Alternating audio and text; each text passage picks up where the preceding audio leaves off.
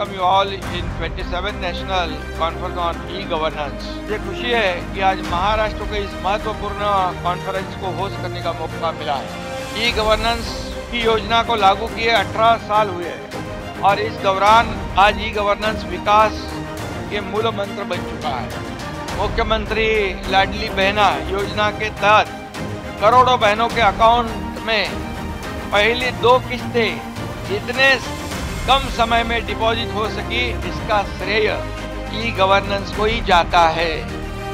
मुझे बताने में भी बेहद खुशी है कि महाराष्ट्र में हमने ई पीक पानी ई पंचनामा और लीगल केस ट्रैकिंग शुरू किया है।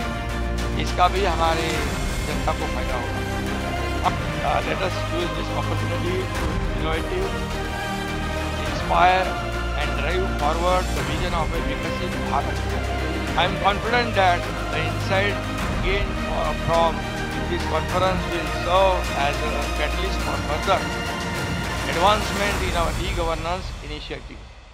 Thank you all for being here today and for your unwavering commitment to this shared mission.